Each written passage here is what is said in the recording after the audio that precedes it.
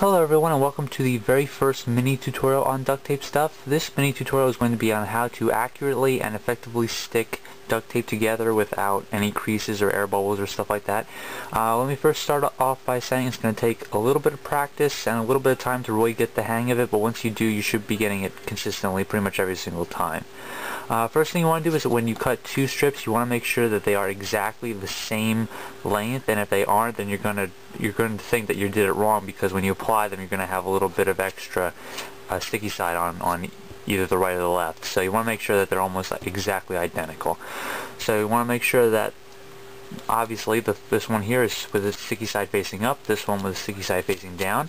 Now basically what I do is I have basically three fi three fingers holding the tape. I have my index finger, my middle finger on each side, and then I have my thumb on top.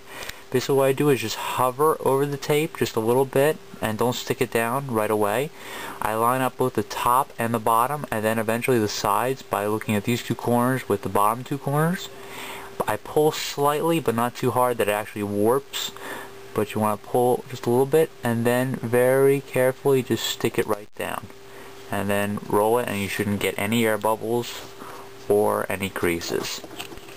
So that's how to stick duct tape together without any imperfections and uh, that is these, this first mini tutorial.